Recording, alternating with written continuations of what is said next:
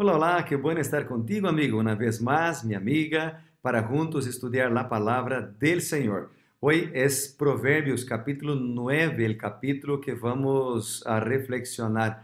Y yo quisiera invitarte a orar en este momento. Padre amado, gracias por la oportunidad de estudiar tu palabra. Ahora vamos a, a pedir tu sabiduría para comprender tu palabra y para practicarla también. En el nombre de Jesús. Amén. Muy bien, el capítulo 9 de Proverbios es un capítulo que presenta la sabiduría y la insensatez, las dos una al lado de la otra, las características de una y las características de otra. También el capítulo 9 presenta dos invitaciones, la invitación de la sabiduría, que es una representación de Dios, y la, la invitación del pecado. Yo quisiera invitarte entonces ahora a, empezar la reflexión en, en el versículo 10 que es una repetición de Proverbios capítulo 1, versículo 7. Dice la, la palabra del Señor, el temor de Jehová es el principio de la sabiduría y el conocimiento del Altísimo es la inteligencia. ¿Cómo tener verdadera sabiduría, verdadera inteligencia? Reconociendo a Dios como nuestro Señor conociendo a Dios de manera particular, de manera íntima. Y no hay otra manera de conocer a alguien sino a través uh, de las relaciones, ¿verdad? Conversando con una persona, pasando tiempo con esta persona. Así que este capítulo de la Biblia, por lo tanto, nos hace una invitación a conocer a Dios, a estar cerquita de Dios. Y Él, nuestro Dios, nos hará entonces una invitación muy especial acá en este capítulo. Vamos a ver, bueno, la primera invitación que Dios nos hace eh, está presentada acá en Proverbios capítulo 9 y te voy a invitar a leerla en el versículo 4. Dice la Biblia, diciendo a todo ingenuo, o sea, la sabiduría, Dios habla a todo ingenuo. Ingenuo acá significa una persona que es inexperta, una persona que no tiene, que es simple, que es sencilla, que no tiene sabiduría. Entonces, Dios hace un llamado a los humildes de espíritu, a los que están con el corazón abierto, a los que tal vez no tuvieron oportunidad de estudiar en una carrera universitaria, pero están dispuestos a escuchar la voz de Dios. Dios hace el llamado también a los insensatos. Acá en el versículo 4 significa a los que tal vez no tengan eh, la sabiduría necesaria para tomar las decisiones correctas.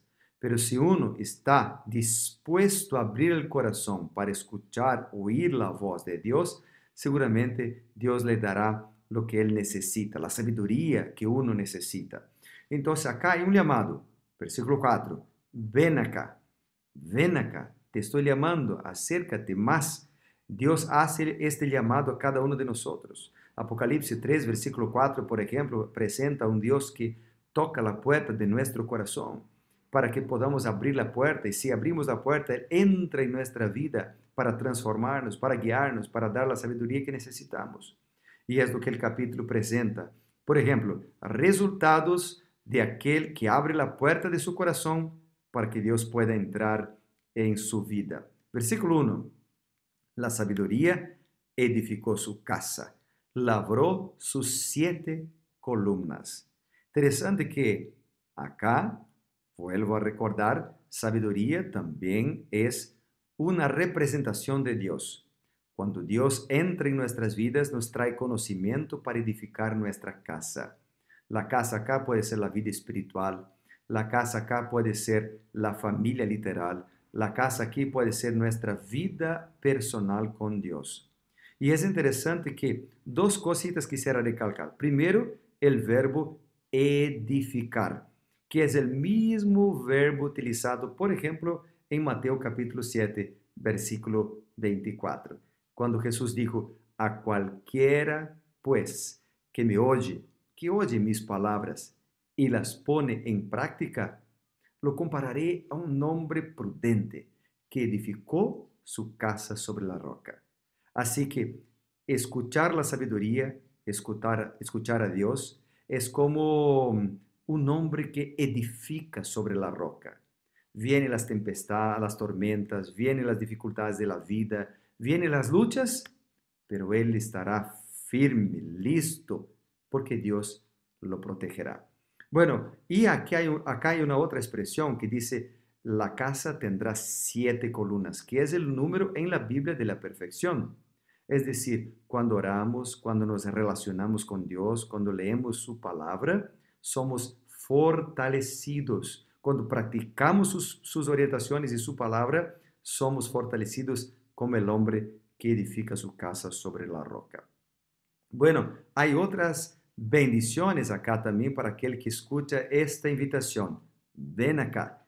Y aquí está el versículo 11. Dice, porque por mí se aumentarán sus días, años de vida se te añadirán.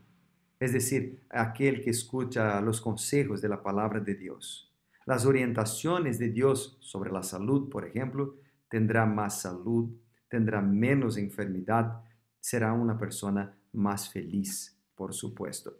Bueno, después nosotros encontramos acá también uh, una otra invitación, la invitación del pecado. Entonces en el versículo 16 dice, uh, uh, también a los ingenuos, también a los que son simples, también a los que están dispuestos, pero para pecar.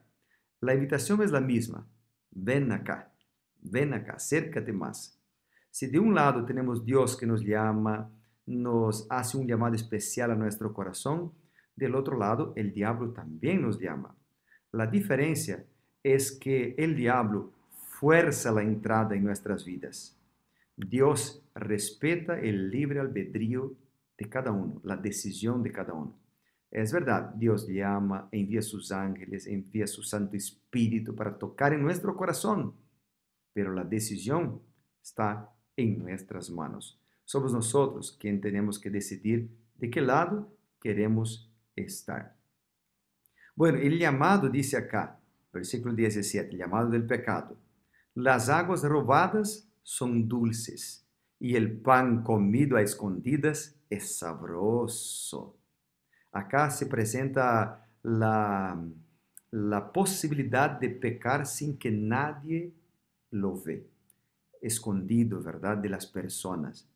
Pero yo ya mencioné acá, carácter, es todo lo que nosotros hacemos cuando estamos solos.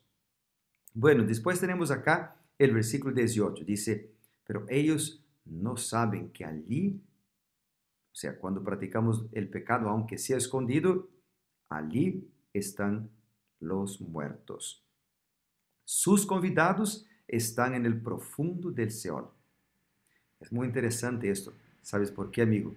Porque el pecado puede ser dulce al comienzo el pecado puede parecer bueno, pero al final nos lleva a la muerte. La Biblia dice en Romanos capítulo 6, versículo 23, que la paga del pecado es la muerte, pero la dádiva de Dios es la vida eterna en Cristo Jesús, Señor nuestro. Y es lo que nosotros encontramos acá.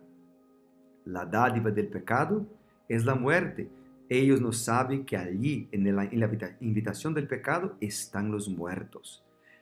Ellos están en el profundo del Seol. Seol acá es la sepultura. Porque, como dice Proverbios capítulo 16, 25, hay camino que al hombre parece derecho, pero es camino que lleva a la muerte. La invitación del pecado nos lleva a la muerte, pero la invitación del Señor nos lleva a la vida. Romanos dice, ¿verdad? La dádiva de Dios es vida eterna en Cristo Jesús, Señor nuestro. Y acá también dice, aquel que busca al Señor tendrá años de vida, años de vida se añadirán, se aumentarán tus días y además tendrás la vida eterna. Querido amigo, vale la pena edificar nuestra vida espiritual sobre la roca que es Jesucristo. Vale la pena escuchar la invitación del Señor cada mañana cuando Él nos dice, ven acá, vení conmigo, yo quiero abrazarte y ayudarte. ¿Qué les parece si cada mañana tomamos la decisión de estar con Jesús? Vamos a orar por ello. quisiera orar por ti ahora, en este momento. Padre amado, alabado sea tu nombre, Señor, por la oportunidad que tenemos de escuchar tu palabra, día tras día. No sé, Padre querido, cuáles son las necesidades de mis amigos, pero de una cosa yo sé, tú eres bondadoso, misericordioso, cuida de nosotros y nos guía siempre que permitimos. Por eso entregamos nuestras vidas ahora en tus manos, pues oramos en el nombre de Jesús. Amén y amén. Dios te bendiga muchísimo. Nos vemos mañana. Chao, chao.